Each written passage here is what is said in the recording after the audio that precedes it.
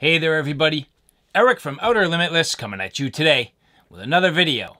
Now it's no doubt that storage is very important for your firearms and when I say storage, for me I have found that I definitely rely on a system. It's not just one particular safe or one particular lockbox that works for me, but it's everything that I have that works together as a system. So today what we're going to look at is this Apache 9800 ruggedized case from Harbor Freight. Yes, Harbor Freight, this for me has become one of my most important pieces of my safety and security system for my firearms. This case is excellent, great value, great features overall definitely rugged, and this does exactly what I need. And so what we're gonna do, I'm gonna take you through all the details on how I built this out. I'm gonna talk to you a little bit about how this works for me, and maybe give you some ideas about how this might work for you. Now this is excellent right out of the box, but there's a few things that you can do to make this a little more durable for the long-term solution. And so all these details we're gonna talk about in today's video.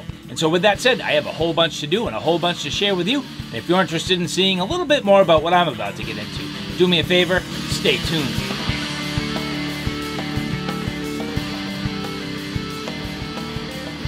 And so as we get into this Apache 9800 ruggedized case from Harbor Freight, as you can see, there's a whole bunch going on here. Now this evolved a little bit over time. It was not set up this way from day one. I kind of worked on it over a little while, sort of figured out what I needed, what would work for me, and it evolved into this. Now this did come from a number of different reasons. First and foremost, I needed some storage for my shotgun. When I got my Mossberg 590, I was looking for a good storage solution that would get me by for the short term without getting a big heavy and expensive upright uh, safe. You know, I really didn't want to spend the money on that because A, I didn't really have the best place for it, and B, I didn't really know what I wanted. So until I figured it out, I said, well, let's go with a reasonably affordable solution, and this was definitely a great place to start. And then eventually over time, I realized, well, I could use this to bring this to the range. So I started actually using this as my transportation case. That's the other nice thing, the ability not just to store this and lock it up, maybe in your home, but take it on the road with you. That's the other benefit. This has a lot of great features that lends itself very well to that. And then beyond that, it actually folds down very flat and I can slide this under my bed. That to me was another big deal, the ability to potentially keep this in my bedroom if I needed to. And that's kind of why I have this set up the way that I do. So it gives me a little bit of flexibility if I need to or I want to to leverage this for the home security and sort of home defense scenario. And again, over time, eventually getting into the 22. So here you can see this is my Ruger 1022. I have put a scope, bipod, my magazines for the rifle. Again, I have actually a little bit of ammo and I could fully outfit this if I wanted to and put some ammo actually in these magazines. I have a number of shells for home defense and then my sling, so one point sling, which can be used technically for either one of these. This is really more specifically meant for the shotgun. And so at this point, now that you've seen sort of what I have in here, let's take a quick look at the process on how I got this to where it is. The Harbor Freight Apache 9800 weatherproof protective rifle case comes in black or tan. I opted for black just to keep it a little bit low profile. This could be used for rifles, shotguns, handguns, or any other firearms equipment. For my needs, I decided to start with my shotgun. This is made from a high quality and durable polypropylene, and it's a good quality hard case that's capable of taking a beating. This is an IP65 rated watertight and dust proof case, and you can see here it's made from pick and pluck foam inserts with good impact absorbing protection. Now you can see from me taking my time and outlining my shotgun, doing the absolute best I can to get this cut to a nice tight shape to avoid the shotgun from sliding around inside the case. The other benefit to cutting this nice and tight is the fact that you leave as much room as possible for other accessories. Like for example, my sling. I thought that would be a great opportunity to get my sling put in the case so if I brought this to the range, at least I'd have the sling with me. I found that using a good sharp knife is definitely the best way to go. I didn't necessarily stay right on the lines for the pick and pluck foam, but I got it as close as I could to some of the outlines. In some cases, I found as though I did need to remove the foam from the case as to not damage the foam that was beneath the pick and pluck foam. But you can see here, it does do a nice job just cutting along these lines to get it pretty well situated. And then continuing to build this out, I did decide to add my rifle to this. So over time, I ended up buying a Ruger 1022 and thought I'd add it to this case. Oftentimes, when I go to the range, I do want multiple firearms with me, so having both my shotgun and the rifle with me while I go to the range. That's definitely a plus, and this kills two birds with one stone for my storage needs while at home. Again, using a nice sharp knife and doing my best to cut right along the shape of the rifle. Again, I did not necessarily follow the exact outline of the pick and pluck foam. I found that with a good sharp knife, I could carve corners. I could do a real nice job getting this cut more specific to the shape of the rifle. And as you can see here, by the time I was done, this is actually a much nicer contour to the rifle than it was from the shotgun. So if I could have done it again, I probably would have been a little more careful with the outline of the shotgun, but not a big deal.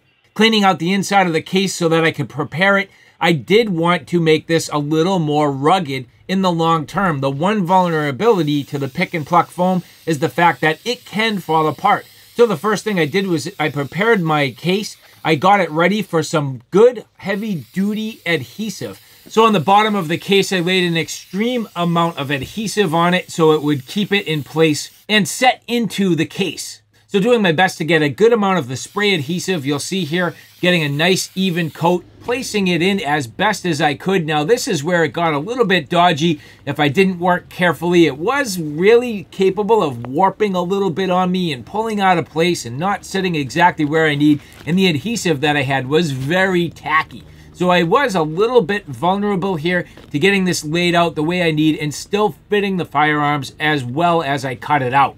But taking my time and getting everything into place, it definitely worked out pretty well for the most part. Then the next thing I wanted to do is really make sure that I got a good quality and durable resistant surface. So I actually leveraged Flex Seal. I used a clear Flex Seal, which seems to work pretty well, and I used literally an entire can. The one thing I can tell you is all of the spray adhesive and the Flex Seal has a really extremely strong odor. So you do need to allow this to vent. You do need to allow it to cure and dry outside, but over time, the smell does dissipate. Generally speaking, you can see here a good even rubber coating over this entire thing. The Flex Seal doing a wonderful job and really sealing in each little piece of the pick and pluck foam to make sure it doesn't pull out of place. Getting all my firearms and all my accessories placed into the case. Well, here, my 1022 the Mossberg 590 Thunder Ranch Edition, getting my scope and a bipod, getting a bipod put into place. Having these accessories for the rifle is fantastic. My magazines, I can keep these loaded if I want or unloaded. My sling, so my one point sling, and then I decided I thought it would be a great opportunity to get some shotgun shells in the case. Now, granted, I cannot transport my firearms with the ammo. However, having these in the case for storage, it does give me a self-defense and home defense solution. But overall, generally speaking, this case came out wonderful from the overall layout and design all the way through making that foam a little more rugged. This Harbor Freight 9800 is fantastic. And so there you have it, the build out process. And as you can see here, nice and durable. This is pick and pluck foam, but I definitely have a solid coating on the top and the underside binding all of this together. And that's really going to help for the long term in the ability for this to stay together without fully pulling apart. You can see in a few areas I might end up with a little bit of trouble, but at the same time, on the vast majority of this. Much, much better, working out very well, and I love the way this came out. And so now that you've seen how I've gotten this to this point, let's go through the rest of the features. And so you obviously know very well about how I got to this point. The foam, obviously working pretty well. If you're not careful, it could pull apart. I find the foam on the top of this to be more than suitable. It's thick enough, it does a nice job protecting, and I don't think it needs much more than this. Now, of course, this is only a single-sided case. As you get into other hard cases, you may have like a dual-sided design. This is only a single-sided design, but that's just fine for me. You can see here a very rugged handle. I mean, super durable. Seems to work very nice. I haven't had any problem with it. Good and sturdy. Nice and thick and heavy duty plastic. Same with the latches. These latches, very strong. You'll notice good positive click. Four of them, which is nice maintaining even pressure all the way down and at the same time just doing a nice job to keep this nice and tight. This is gasketed so theoretically it is and I don't know if it's fully waterproof but definitely water resistant and as you can see here this does technically have a valve. So, I mean, this in reality is to help this breathe, yet at the same time, you can close this keeps it nice and uh, water resistant, watertight, or if you want it to be able to breathe, depending on what you have in here. Either way, I don't know what's the best. Um, I just had it closed. Little bit of a name tag right here if you so choose. You could put that in, and you'll notice a couple places for locks. That's the other thing that I greatly enjoy about this, the fact that this locks and you have two locations, one on each end to keep this nice and tight. You could probably check this in an airline if you were willing to pay for it. Um, that would actually do a nice job if you're able to cinch this nice and tight. It would meet your TSA requirements and good and durable. Heavy duty wheels, these casters on the bottom. Spin very nice. I haven't had any problem with them. Fairly smooth, seem to have reasonable bearings and then handles in a few different locations. So as you notice here, handle also on the bottom and also on the top. So has some nice grab points along the way. Very nicely done. And you'll see here again the Apache 9800, which they say is rugged mobility. Generally speaking, very good construction. At this point, I am definitely very happy with this. I think Harbor Freight has done a wonderful job, and this is definitely a high value item. And so, all right, guys, there you have it, the Apache 9800 ruggedized case. Again, using it for my shotgun and my 22 rifle.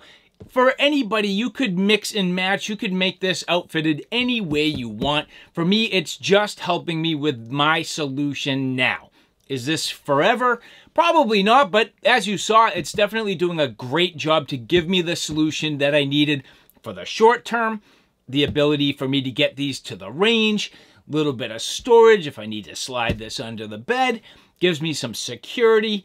Overall, definitely perfect. It does exactly what I need. And then ruggedizing the foam on the inside, putting the adhesive, uh, putting, you know, the spray, getting this nice and rugged, a little more durable so it won't really pull apart over time. I think that's going to be important. Now, again, is this perfect? No, absolutely not. But you know what? For a reasonable price and pretty darn cheap. This is going to do exactly what I need for now. And as I learn and as I grow and as I gain additional parts to my system, this will be phased in or out or depending on what I need, but for short money. And that's the thing, great value. This will definitely get you a good quality solution. And so if you like this content, do me a favor, take a look at my Outer Limitless channel, which is my primary channel. If you like outdoor excursions, hiking, camping, and backpacking trips, all the gear that goes with it from the backpacks, sleep systems, shelter systems, knives, axes, flashlights, you name it, that's my Outer Limitless YouTube channel. So all right guys, thanks for stopping by. I hope you like what you saw. I hope you found it a little bit informative. If you like what you saw, please like, share, and subscribe. And as always, thanks for stopping by. Take care now. I'll see you soon.